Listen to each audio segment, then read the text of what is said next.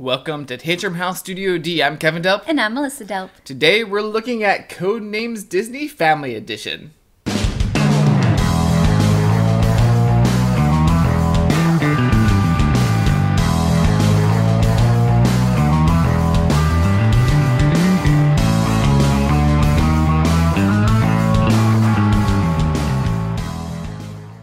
Codenames Disney Family Edition is for 2 to 8 or even more players and is published by CGE and USAopoly. If you're familiar with Codenames, then you already have the basics of this game.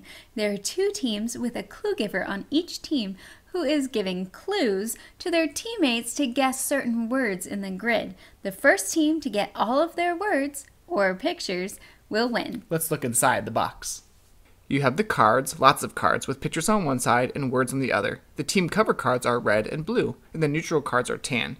There are also two different kinds of key cards, a normal 5x5 grid and the easier 4x4 family grid. At the beginning of the game, players choose two clue givers, one for each team, the red team and the blue team. And then you'll set up a grid of cards based on the key card that you've chosen, either the 4x4 or the 5x5.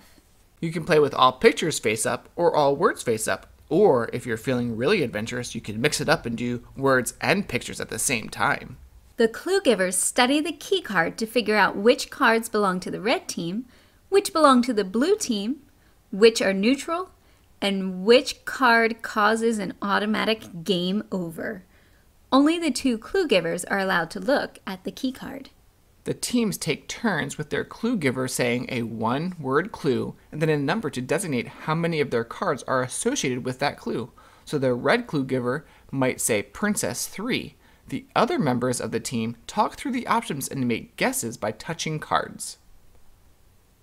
They can keep guessing until they reach their number limit for that clue, or they decide to pass, or they guess incorrectly. Then it's the other team's turn. This version of Codenames is great for anyone who loves Disney. It has everything from Mickey Mouse and Snow White all the way up to Frozen and Moana. I can really see people playing this all the way up from kids to grandparents. The family key card is great for younger kids. It has fewer cards, and there isn't a game over assassin card, so they don't have to be afraid of touching a card and automatically losing.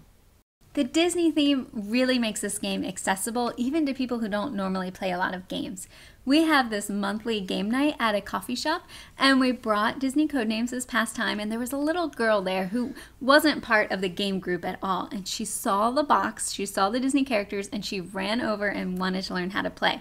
So I was able to teach her and her family how to play and they had a lot of fun. They learned a great game because of the approachable theme. But there are some cards and pictures that you may not be familiar with if you don't know all the Disney movies. Um, that's okay because you're just trying to connect the cars together. You don't have to know all the Disney movies. You just need to be really good at finding similar things between those those cars or pictures and connecting them together. Although sometimes things are a little too similar because there might be four princesses or four animals on the grid and your team only has two of them. So then you have to find really specific clues that will lead your team to those and not the other ones. We've mixed up a few of our games by placing words and pictures all in one grid. That can be fun, but if you don't know who Vanellope von Schweetz is, or Axiom, or Carl Fredricksen, then the game is a little harder. But there are easy words like dance and bridge, tree, and rabbit. We enjoy the Codenames games, and I think this one is a great addition to the series. Yes. Um, we've actually already bought another copy as a Christmas gift for one of our family members who loves Disney, so I definitely recommend this version to anyone who does love Disney, obviously, and who likes Codenames.